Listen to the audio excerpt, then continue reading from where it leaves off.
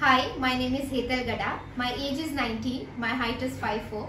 And my debut film was Dhanak, which was written and directed by Nagesh Kukunoor. And I played the character of Pari. And the film won various numerous awards and the national award as well. And later I did a show with Netflix known as Yeh Kaali Kaali Ankhein. And my last web series was Crash Course, which was directed by Vijay Maurya. And it was for Amazon Prime. And yeah, I did a couple of uh, short films as well. And these are my profiles. Thank you.